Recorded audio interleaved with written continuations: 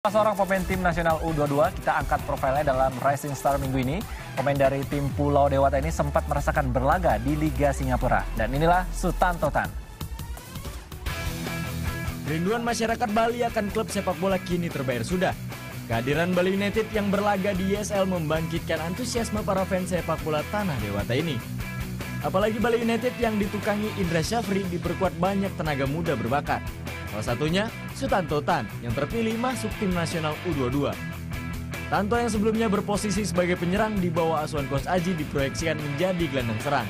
Penampilannya di Pelita Bandung Raya U21 dan pengalamannya membela dua tim Singapura, Geylang dan Hougang United membuat Aji tak ragu memanggilnya. Selama membela Hougang, Sutanto mampu menghasilkan 9 gol dari 14 kali bermain.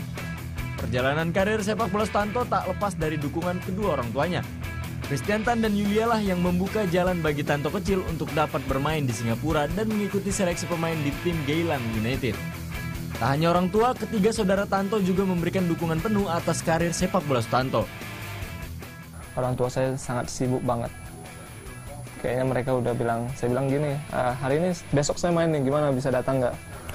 Ah, dia bilang, ya kita lihat nanti. Seperti terus saya tanya ah, kakak-kakak saya, kayak kakak saya bilang mereka bakalan sibuk terus keesokan harinya saya lihat mereka di lapangan itu yang buat saya berkesan banget. Saya itu yang motivasi saya sampai saat ini. Dalam menggapai impian memang selalu banyak hambatan.